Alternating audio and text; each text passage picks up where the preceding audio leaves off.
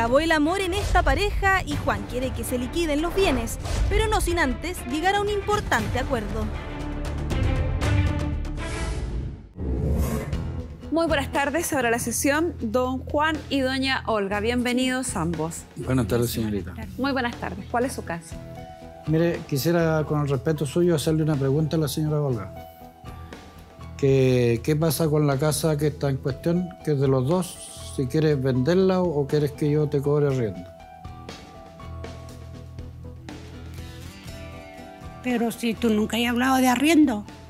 Y yo creo que no sé, no es legal que tú digas eso.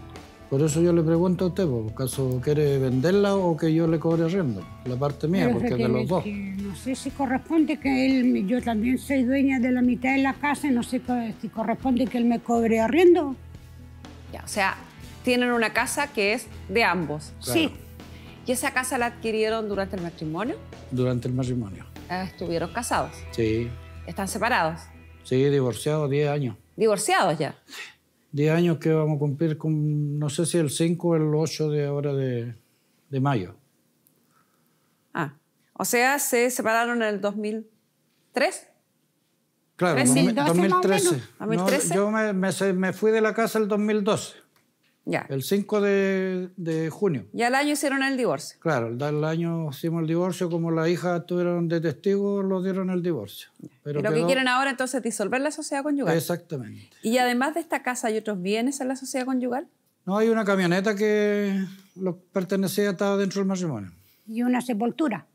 Sí, una sepultura también, pero la sepultura según se perdió, porque no, nadie, nadie pagó la, los, ¿cómo les creo yo? Las mantenciones. ¿Y había alguien sepultado ahí? No, Ah, No, pero él se podría. Él se podría, ¿cuánto se llama? Rejatar pagando la, la mantención esa sepultura. No sé, eso tienen que verlo 17 directamente con el cementerio. 17, 18 años que no se paga, así que... No, ya fue ella. Sí, sí, a mí me... me- Difícilmente la puede rescatar. yo, lo, yo lo consulté, por eso le digo que se perdió. Ya. O sea, la sepultura ya no existe. No, ¿El automóvil qué pasó con él? lo vendí yo ese automóvil. Ah. Era una camioneta año no- 94, ¿Y en cuánto la vendió? un millón doscientos. ¿Y le dio a la señora No. los 600? No porque ella quedó con todo la- lo de la casa. Pero usted viene a pedirlo ahora, pues. No, yo no vengo a pedir lo de que tiene la casa. Yo vengo a pedir la parte mía de lo que corresponde del mueble, del inmueble. Ya, O sea, usted quiere su 50% del inmueble, pero de los bienes muebles son de la señora. Sí, sí. Ya. ¿Y qué opina la señora? ¿Qué, está, ¿Qué prefiere? El caballero dice, o la vendemos o me pagas el arriendo que me corresponde por la parte mía. Pero ¿y corresponde que yo le pague arriendo a él siendo yo la dueña de la mitad. Podría ser porque la otra mitad es de él. Eh, yo pienso que mm, yo le pediría a él que me diera dos años más para vivir, ar- vivir ahí y se venda y lo repartamos del dinero. po. O sea, usted dice dos años más viviendo tranquila en la casa y después de eso se vende y se reparte en mitad y mitad como corresponde. Sí, Hace 10 años que está disfrutando de la casa y tiene, ella ha tenido pareja y yo jamás. eh, siempre he pagado arrendo. En mi vida, ok. Bueno, yo no, yo no lo Yo estoy llevo 10 discutiendo. años sin ti. Pero no, no pagan nada de arrendo Pero yo no ni vivo. nada. Yo vivo solita. Están disfrutando. Pero eso le pido yo porque yo tengo problemas de salud, que ayer recién me enteré. Ayer, Sí.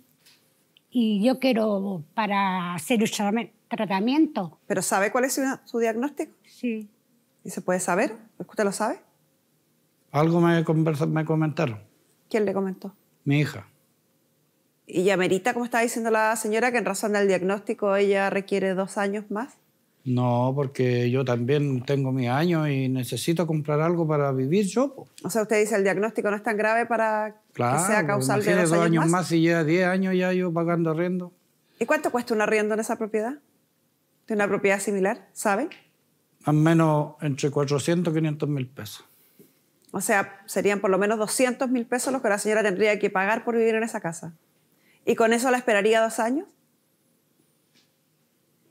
Yo creo que no, porque como le digo, yo también... Entonces, ¿para qué le ofrece la opción del arriendo? Pero yo tampoco le podría pagar 200 mil pesos si él llegara a, a un acuerdo porque yo tengo una pensión solidaria, yo no estoy trabajando ahora. Yo vivo de la- una pensión solidaria, nada más. Y con eso yo tengo que pagar luz, agua y a mí me ayuda Dideco y me ayuda el, el ¿cuánto se llama? La, la despensa social. Mi hija, ninguna de las dos a mí me ayuda. Porque ¿Y el valor de la, pro- de la propiedad cuánto es? ¿Saben? Mire, la otra vez estuvimos a punto de venderla y ella... ¿En no- cuánto? después no, en 55 mil millones. 55 mil No, millones. 55 millones, Ah. perdón. Bueno, si no, dije yo vaya a venderla ahora. Ah, 55 no. millones los, los el caballero la tiró. Yo después me arrepentí, no quise. Después que la señora tenía el préstamo, todo el crédito y no quiso mo- ella mostrar la casa adentro. ¿Y por qué no quiso? Mostrarla. ¿Mm? Porque resulta que el corredor de propiedades, cuando estaba fuera de mi casa, me llamaba para adentro que estaba ahí, que la abriera porque quería conversar conmigo y yo estaba en la ducha. Yo le dije, no, pues te tiene que avisarme un rato antes, un día antes. Ah, pero podrían haber acordado otra fecha. Claro, de ahí, ahí yo le dije un rato más y llámeme. ¿Y no llamó el caballero? Sí, sí, después más tarde vino. ¿Y entonces? Eh, y después yo me arrepentí. ¿Por qué? Porque eh, pensándolo bien, eh, yo tendría que haberme ido al sur. Ya. Entonces a mí me dio miedo irme sola. Me podía enfermar allá, qué sé yo, me podía caer en depresión. Pero no es buscar- mejor buscar una solución eh, pacífica, tranquila, de común acuerdo, porque el caballero, ustedes lo que tienen en estricto rigor es una comunidad hoy.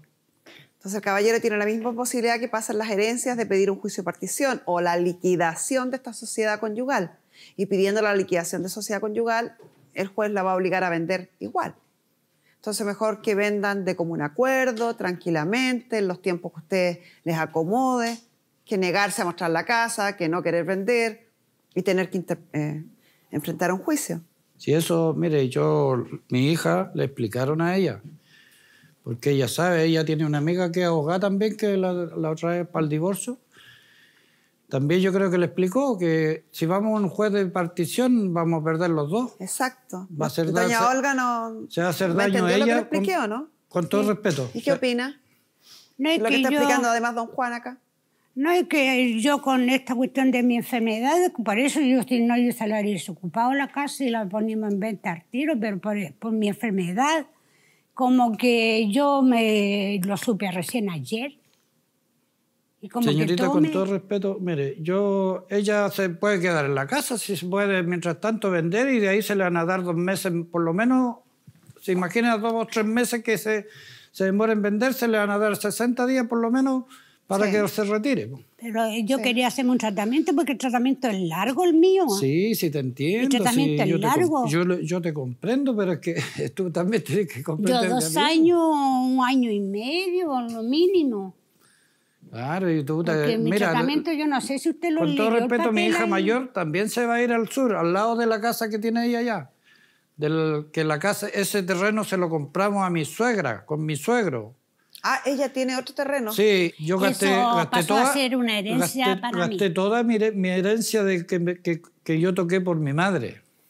A ver, espere. Ahí en la casa. Las herencias son eh, a título gratuito. No se Sí, paga po. por ellas. Si usted pagó y a lo mejor compró derechos hereditarios, que es No, distinto. sí, pagué, por, pagué, yo se la pagué a mi suegro 400 mil pesos No, esos no le años. ¿Y eso lo hicieron por escritura? ¿Cómo lo hicieron? Por escritura, pero lo hicimos como para que saliera más rápido. Particular, lo hicimos como que le habían dado herencia a ella. Si fue una herencia mía, Juan. No, si tú sabes que no, ¿para qué? Sí, porque tú nunca le diste plata a mi padre Eso es lo ni a que, mi se- madre. lo, que, lo que a tu mamá no, pues, pero a tu ¿A papá nombre sí. de quién está ese terreno A en el nombre mío. ¿A nombre de ella? Porque yo era la hija, yo tenía que quedar con la No, no, herencia. no, no, no, no, no, no, no, no. ¿El caballero estaba vivo cuando firmaron ese documento? Sí, pues. Eso no es herencia.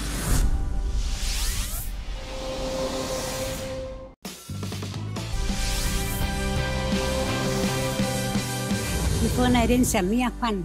No, si tú sabes que no, ¿para qué? Sí, porque tú nunca le diste plata a mi padre Eso es lo ni a mi madre. lo, que, lo que a tu mamá no, pues, pero a tu ¿A papá sí. nombre de quién está ese terreno A en el nombre mío. ¿A nombre de ella? Porque yo era la hija, yo tenía que quedar con la No, no, herencia. no, no, no, no, no, no, no, no. ¿El caballero estaba vivo cuando firmaron ese documento? Sí, pues. Eso no es herencia. Las famosas Mi herencias. padrastro estaba las vivo. famosas herencias en vida que ahora la gente no Mi existen. Sí, padrastro estaba vivo y mi mami. Da lo mismo si el- eh, su mamá estaba viva. Si el caballero es el que supuestamente, a título de herencia, le vende un pedazo de terreno y ustedes firmaron una escritura de compraventa, eso no es herencia, eso es una compraventa. Y Sí, por lo pues sí. tanto, hay otro bien que entra en esta sociedad conyugal. Pero mire, me, con todo respeto, señorita María, o sea, Carmen Gloria, yo no, no me interesa eso porque ella hizo una buena obra, se lo repartió a mi hija, esa parte. Y yo no, no me interesa eso, no importa, yo perdí todo lo que, bueno, para mi hija va, a quedar eso y para mis nietos. ¿Y se lo repartió a sus hijas a través de una escritura o de Sí, palabra? eso es lo que yo he conversado con mi hija de, con escritura. Ya. Ya. Sí, yo, no- yo, mire, con todo respeto, yo no pido nada más que lo que me corresponde de la casa que está en cuestión, nada más. Y mm, usted conoce el diagnóstico de la señora. Sí, me dijo mi, mi hija delante, nomás conversé yo con ella, ¿Con quién? eh, con la Jenny, ¿Qué te dijo? que, que tienes cáncer de mama, que te hayan encontrado. No sé si es así, tan así. Yo creo que mi hija no, no va a mentir en eso. Así es. Y no es para que te, no, te enojes tampoco con ella, porque me lo dijo. si ¿Por qué no- voy a enojar si la y Jenny es me mejor está... que, que lo diga ella, porque... No, eh, la Jenny me está apoyando, me, Sí, me pues, sí. acompaña al hospital, me acompaña para Sí, ella me dijo que, Y ayer que recién lo quería subimos a las 12 del que día. ella la acompañaba a todos lados. Pero está recién esto. Claro. ¿Le dijeron alguna. algo más de información? ¿En qué Sí. grado está? ¿Cuál es el tratamiento? ¿Cuál es No, el todavía no llegamos allá porque tenemos que hacer varios exámenes más y después tenemos que, que pasar a una, ¿cómo se llama este que lo hace como un escáner? Ya. Todo el cuerpo para ver si está ramificado en otro lugar. ¿Y cómo está usted con esa noticia? Mal, pues. Pero, ¿y qué le voy a hacer? Le vamos a pedir a nuestra psicóloga Marisol Sagredo que se suma a la conversación porque hay palabras que, que cuando uno escucha eh, pueden afectar enormemente. Y, y una de ellas es la palabra cáncer. Yo creo que no hay nadie que quede inmune frente a un diagnóstico que incluye la palabra cáncer. Más allá de cuál sea el grado, de cuál fue el tratamiento, de cuál sea el diagnóstico preciso, eh, a uno le pasa que escuchas solamente al médico decir la palabra y como que un poquito uno se abruma inmediatamente y, deja de, de escuchar y de entender mucho más, sobre todo cuando es muy reciente, porque con los días a lo mejor uno va eh, teniendo conocimiento y ponderando cuál es la gravedad, cuál es el tratamiento, cuáles son los caminos, pero los- las primeras horas, el primer día, eh, Marisol, me imagino que es tremendamente agobiante y es la situación en la que está hoy doña Olga. Sí, yo tengo pastillas para dormir.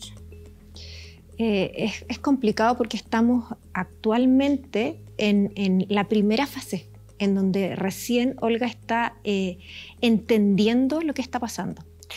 El cáncer es una palabra fuerte, la gente intenta no decirlo, Mm. pero tenemos que decirlo como si fuera un resfrío, como si fuera diabetes, colesterol alto, da lo mismo.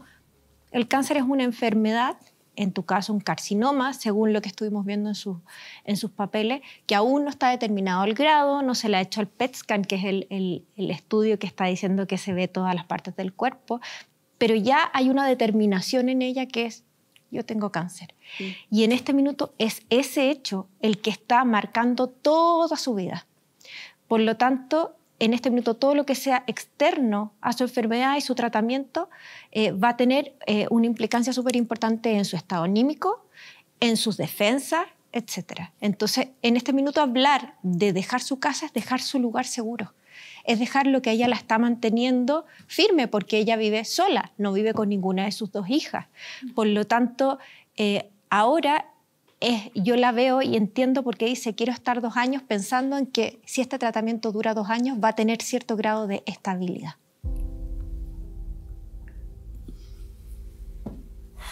Razonable, ¿no?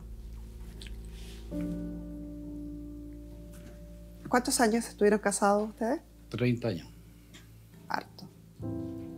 Y dos hijas, por lo que escuché. Dos hijas y cuatro lindos nietos, gracias a Dios. Y en memoria a esos buenos años, y a esos, a esos hijos y nietos, a esa familia. ¿Será posible ser prudente a lo mejor y, y esperar un mejor minuto para conversar este tema? Mire, señorita Carmen Gloria, yo también, hace cuatro años me operaron del corazón, me dieron dos infartos. Soy propenso, en cualquier momento me puede dar un infarto, rey, porque soy hijo de, un, de que mi, mi taita murió de, de- de lo mismo. También tengo problemas yo. y sí, ya no- sin ya duda. no- Yo no, no estoy diciendo que la señora sea la única persona con problemas de salud en este país, ni en el mundo. No, Sí. no. Ni tampoco quiero eh, empezar a, a ponderar qué problema es más grave que el otro. Sí. Pero lo que sí es evidente es que su problema de salud fue hace un tiempo y el problema de salud que le afecta a ella, que tiene una connotación tremendamente impactante en quien lo recibe, es de ayer a la tarde. Es ahora. Pues, a mí el tratamiento que me hace el doctor, qué sé yo, dura menos. Yo antes vendo la casa sin mi tratamiento, pero yo me quiero, si me voy a algún lado, me quiero ir un poco mejor y con el tratamiento ya como más Avanzado. avanzado, eso. Mire, yo le voy a ser bien consciente y le voy a decirle que si ella quiere, un año le doy para que se quede en la casa y la vendamos. No sé si le conviene. A mí me parece razonable en un año más que ya Doña Olga capaz, seguramente en un año más va a tener más, caro, más claro el panorama, va a estar eh, a lo mejor más eh, al tanto de, de cuál es su diagnóstico, de cuáles son los pasos a seguir, va a haber a lo mejor organizado su vida de acuerdo a esto. Me parece que es un plazo razonable, Marisol. Cierto, porque em, Olga está viendo un proceso que es el duelo, es aceptar que ya no es la Olga que era ayer, porque ayer era otra Olga. Hoy es una Olga que necesita ayuda, necesita apoyo, y el duelo, eh, se nos olvida, Carmen Gloria, pero la palabra duelo viene de dolor. Ella desde este minuto está sufriendo un dolor que no conoce, que se le escapa, y cuando uno habla de cáncer, uno habla que el tratamiento, a diferencia de tu caso, Juan, que luego de que viene un infarto, el tratamiento va hacia arriba, uno se va empezando a sentir mejor, uno sabe que va a ir mejorando. Con la palabra cáncer uno siente que va hacia abajo, porque te vas sintiendo peor con el tratamiento, aun cuando te estés mejorando. Entonces, una cosa con la otra no van de la mano. Entonces, hay que acompañar en este duelo, hay que acompañar en este dolor. Y a ti, independientemente de que tú estés alejado ya de Olga, eh, tus hijas, que tú quieres mucho, tus nietos, que tú quieres mucho, van a estar también preocupados de Olga. Por tanto, esto igual va a afectar tu bienestar, quieras o no. Y un año es un buen tiempo para que ella también pueda proyectar sobre qué es lo que va a hacer después. ¿A usted le parece, doña Olga, que en un año más conversemos? Si Dios quiere. Porque uno nunca sabe esto. Sí, uno nunca sabe. Uno nunca sabe qué pueda pasar en un minuto Sí. más o en una hora más. Pero si las cosas siguen como están, Sí, conversamos en un año más. Eh, ¿Tú estás de acuerdo de dejarme un año más la casa Sí. Él lo propuso. y yo no ir a hacer nada ya? No, yo nunca he ido a hacer No, yo nada. sé que no he ido, pero a lo mejor... eh, No, porque no voy a ir ahora. ya- cambia no. cuando se pone más no, de edad, No, no, no, no, no. no. piensa diferente. En estos eh, 10 años de separación, ¿han tenido una buena relación? No lo tenemos poco contacto, pero que los tratemos mal, cualquier cosa, no. Siempre no. compartimos con los- nuestros nietos, nuestras A hijas. las Pascuas, cumpleaños... Claro. Ah, bastante civilizado. Pues. Sí, Sí, sí, no. No, entonces no hay por qué pensar que las cosas podrían ser distintas. Porque nosotros no, no los metimos en la vida de nadie. No- Ella no se mete en la vida mía, yo no me meto en la vida de, de ella tampoco. Así que no. sí, no es así. Llevamos la, la fiesta en paz, como se dice. Ya, pues. Durante un año más ¿Sí? seguiremos con esta fiesta en paz, entonces. Si Dios quiere. ¿Algo Pues- más, Marisol? Eso, me encantaría decirle algo a Olga. Eh, no siempre uno lo pasa bien en este proceso, pero si es posible que tengas algún tipo de ayuda, de acompañamiento eh, psicológico, si lo puedes tener, acéptalo, porque eh, tú no sabes lo que vas a pensar, lo que vas a sentir, pero siempre tener al lado alguien que esté enfocado y que te vaya guiando puede ser una buena compañía, sobre todo si tú vives sola y si estás enfrentando esta situación sola. Gracias. De nada. Muchas gracias, En el Marisol. consultorio pero puedo pedir eh, psicóloga. Mm. Sí. Vamos a pedirle a nuestro productor, David Troncoso, que entre porque mientras grabábamos el caso, él estuvo haciendo algunos contactos, estuvo haciendo algunas diligencias y tiene algo que contarnos. Eh, sí, Carmen Gloria. Eh, es súper heavy lo que tú acabas de decir, que en el fondo el cáncer también es, es una enfermedad muy, una palabra muy fuerte. Para lo que lo hemos vivido eh, eh, es muy complejo. Eh, uno a veces siente esos altos y bajos en la vida. Eh, y en los momentos en que se da esa palabra, uno tiende a, a ponerse oscuro y ve un poco negativo las cosas. Pero siempre hay un camino. Y ese camino, como dice Marisol, es tremendamente importante, Carmen Gloria, ser súper apoyado por eh, ayuda psicológica. Y nosotros te queremos regalar eso para que tú empieces este tratamiento psicológico eh, con este apoyo en este proceso de esta enfermedad, que no me cabe la menor duda que vas a tener las fuerzas de salir de ahí. Eh, es una enfermedad que requiere muchas cosas, mucho apoyo, mucho eh, entorno, eh, pero si no lo tienes, af- aférrate a eso y aférrate a la fe que, que puedas tener tú. Sé que va a salir y va a salir de ahí. Te lo digo yo que estoy acá en este programa ayudando a muchas personas y que en el fondo eh, es una palabra que asusta, pero también que da mucha esperanza. Así que te invito a que sigas ese camino más que el del miedo. Así que eso. Eso, Los Carmen. contactos y... Lo vamos a hacer a través del Centro Psicológico Cacao. Ellos te van a recibir y te van a contactar para que tú empeces este tratamiento lo más pronto posible, ya sea telefónica o presencialmente, Ya. ¿ya? En los tiempos que tú, que tú requieras. Eso. Gracias por tu empatía, por tus gestiones y sabemos que te moviliza la empatía, porque David también es un sobreviviente del diagnóstico de cáncer. Sí. Muchas gracias. David. Gracias, Gloria. Doña Olga, yo sé que es sumamente difícil pedirle claridad en este minuto. Entiendo que puede estar muy abrumada y un poco confusa con sus ideas, producto del shock que significa recibir una noticia así. Eh, entonces voy a ser bien clarita. Don Juan aceptó, propuso él voluntariamente esperar un año para conversar el tema de la casa. Sí. Nuestro periodista, productor eh, David, va a contactarla con el Centro Terapéutico Cacao, quien la va a guiar psicológicamente y la va a acompañar en este proceso. Y en un año más conversamos qué hacer con la casa, deseándole todo el éxito del mundo y la mayor fuerza para recorrer este camino. ¿Ya? Que le vaya muy bien. Muchas gracias. Gracias por su generosidad también y comprensión. No, gracias. Y con esto